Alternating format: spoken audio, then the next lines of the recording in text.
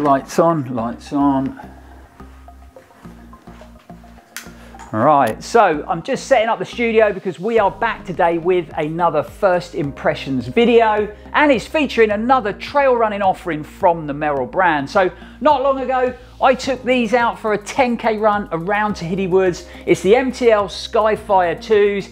It's a super stripped back, lightweight, very fitted sort of mountain race day shoe. Uh, it ran well around the woods, but it is pretty aggressive in design and it didn't offer me a lot of underfoot cushioning, whereas these, the rather good looking Agility Peak 5 is a deeply cushioned trail running shoe with a wicked looking outsole and they really do feel and look like a well put together trail running shoe.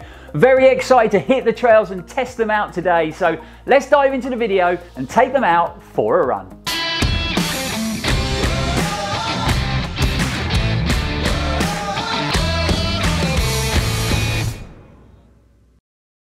Welcome back everyone and thanks for tuning in again. I'm Lloyd Purvis and this is Run for Adventure. So as we rapidly approach August, both myself and Liga are super excited about the up and coming trip across to Jersey to take on the Round the Rock race.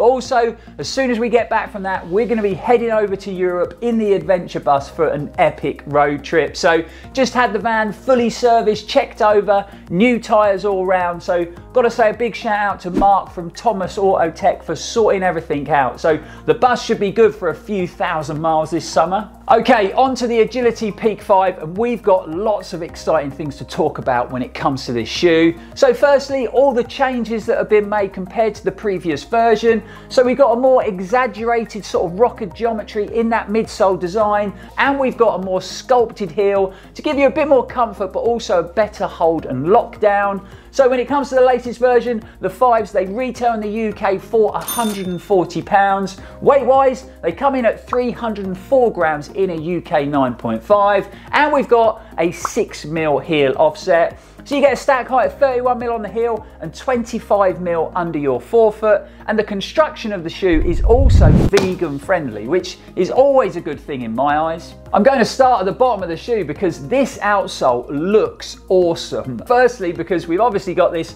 bright yellow logo at the midfoot, which can only mean one thing. We've got some super sticky Vibram Mega Grip rubber on the bottom of this trail shoe, but I'm also loving the look of these chunky, aggressive 5mm traction lugs. So we got some great reverse facing lugs on the heel that are going to bite in when you're running down steep descents, but also aggressive lugs on the forefoot there. So it really does look like an outsole that can handle all types of terrain and any weather conditions. So very excited to test this out on today's run. We've got a Float Pro foam midsole for lightweight comfort and when I push into that compound it does feel very very soft but we've also got some other great features worked into that midsole setup. So you get their dual directional Flex Connect grooves for enhanced ground feel and And then if I flip it over again, this orange area poking through the outsole is actually a rock plate covering the midfoot and the forefoot. So the Agility Peak 5 should offer really good underfoot protection and the exciting features don't stop there. So moving to the upper design, and there's lots to talk about again. The first thing that jumps out is the use of this SBR mesh material by Merrell uh, on the ankle collar, on the gusseted tongue, and on that heel cup. They've utilised this fabric because of its low water absorption rate. So this upper shouldn't hold on to water and they should drain really well, but it's also nice and stretchy and highly breathable. Always good to see when running brands are using recycled materials and Merrell are using a lot of them in the construction of the Agility Peak 5. So we've got the laces there, we've got that inner mesh liner in the upper and the footbed cover. But unlike a lot of running brands, it's not 20, 30% recycled, it's 100% recycled material. And I personally think that is a great effort by the brand and really good to see. And then finishing up, we've got this nice D-ring and a Velcro attachment on the back of the shoe for a pair of gaiters. Uh, we've also got a nice little handy uh, pull tab on the heel and you get a nice substantial toe bumper that's going to offer you a little bit more protection when you're out on the trails. Obviously we'll talk more about the shoe when we're out on the run and when we get back to the studio in our final conclusion but right now I need to get the Agility Peak 5s on my feet and take them for a run. Okay, so I've come up to the north coast of Cornwall, up to Hell's Mouth. Going to be running along the coast path there into Tehidy Woods, and we're going to give the Merrell Agility Peak 5 a thorough testing out on the stunning Cornish Trail. So let's get running.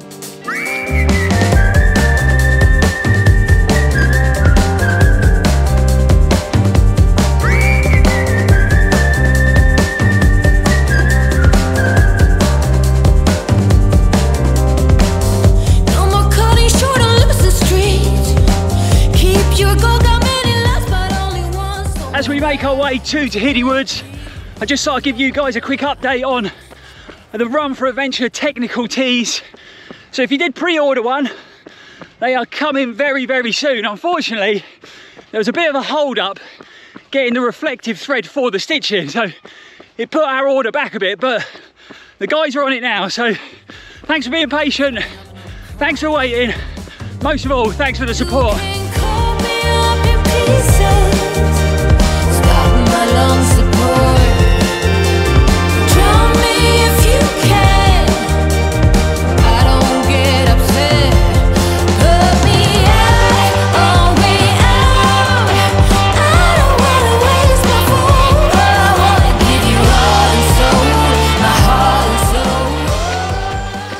So we've made it into Tehidy Woods and we've covered three miles already and I was bobbing along the coast path there at a good pace and the legs felt great.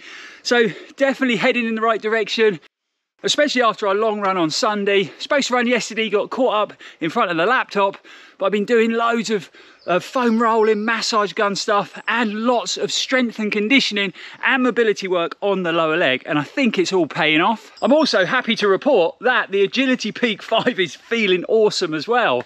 When it comes to the fit, a very different fitting shoe compared to that Skyfire 2. So there is a bit more width in it. I still wouldn't say it's a wide shoe, still quite fitted, but also the length is very different. So I would say the Agility Peak 5s are true to size, whereas those Skyfire 2 sized up really, really small. Actually, coming along the coast path there, they really feel very similar in fit and feel underfoot to the old Speedgoat 3, which is definitely a positive thing in my book because I love that shoe. I would say the midsole's a little bit firmer than the Speedgoat 3, but the fit, the feel, the rocker in that midsole feels very similar. So definitely uh, first impressions are super positive, but we're three miles in. Let's do a loop of the woods and then we're gonna head back to the adventure bus.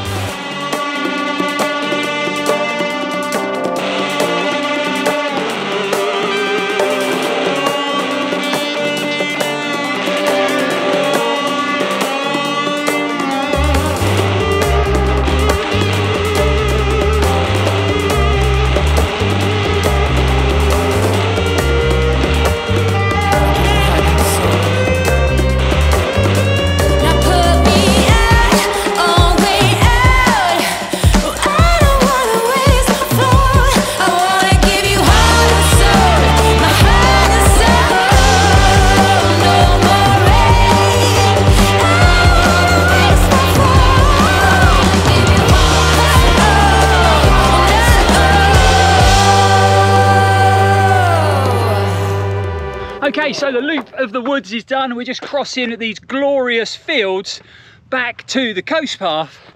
And I've got to say it, this run is going extremely well. Body, mind, and new shoe feel great. And I've never actually run in the agility peak before. And you know, if they've always felt like this, then I reckon I've been missing out because these are running really well straight out of the box.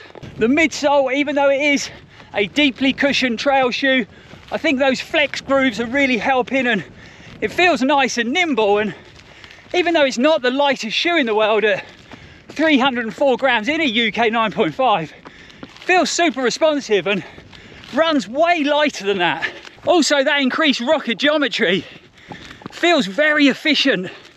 Really feels like it's sort of helping you in that forward motion and like I've already said it does feel very similar underfoot to the Hoka Speedgoat 3s, but also the Kailas Fuga EX2 and EX Boa, which again, I love all three of those shoes, so I'm well happy with how it's performing.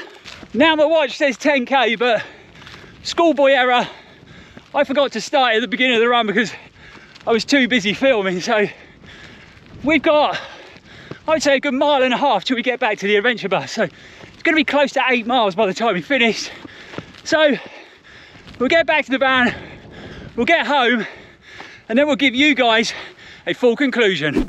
It was actually pretty much nine miles by the time I got back to the adventure bus, so I completely miscalculated that run and I think it was because I was having so much fun out there today. My legs felt like they were full of energy and I've got to be honest, I haven't felt like that for a long time. Ever since I started having those lower leg issues about a year ago. So like I say, it's been a long time. So it was great today to feel like I was actually running again. It was also a super positive experience on the shoe front and I have to say it that it was a much more enjoyable run compared to the time when I took out the Merrell strip back Skyfire 2s. Now, I obviously know that is a completely different shoe design built for a different purpose, and I would say that the Agility Peak 5 definitely works for me better.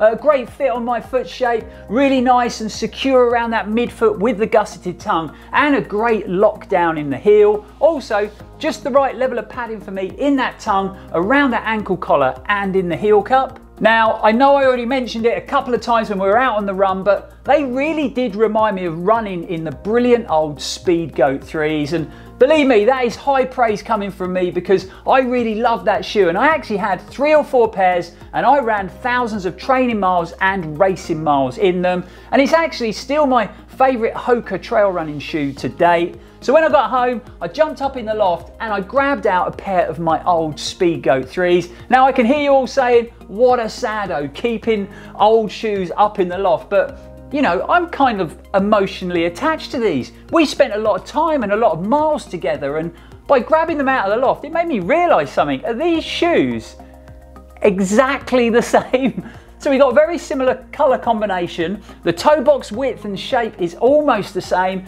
And if we look at the midsole, we got a very similar stack height and rocker geometry. I mean, they are pretty much identical and that's probably why I enjoyed my run so much in these today. Anyway, that's enough speed Speedgoat talk. Back to the Merrells and obviously having this nice chunky aggressive 5mm lug on the outsole and it being coated in the super sticky Vibram Mega Grip rubber the outsole performed well on today's run. Uh, it had a couple of puddles to deal with, the odd slippery tree root, and a little bit of mud now and again, and it really did cope with it all fine. And I'm sure it could handle much, much worse conditions than that. I actually think the Agility Peak 5 would make a great trail running shoe when it comes to wet, muddy UK conditions. So rounding up when it comes to my first run in these, and I've literally got no negatives to say. I personally wouldn't change a thing about this shoe. Fits me well, the upper feels nice and plush and breathable. I got a really good level of comfort from that Float Pro foam midsole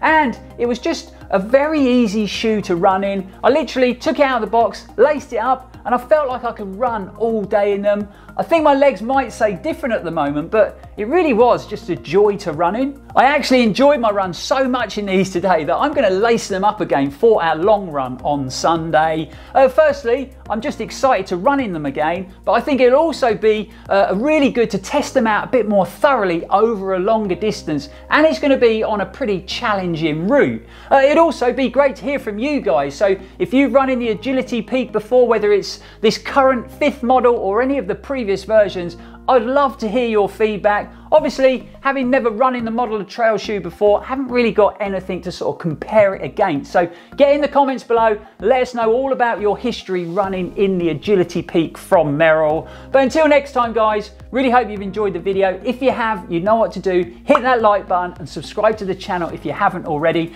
Only takes a second to do, but it is a massive help for sure. We'll be back here very, very soon Thanks for watching, thanks for supporting, it really is appreciated. And as always, stay safe and keep on running. But we've got some other great features worked into that midsole construction as well. So you get dual connection, oh, dual direction.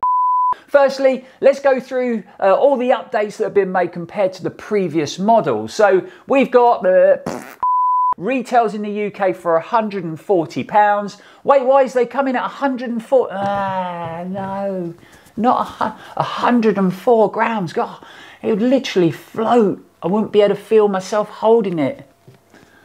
304 grams.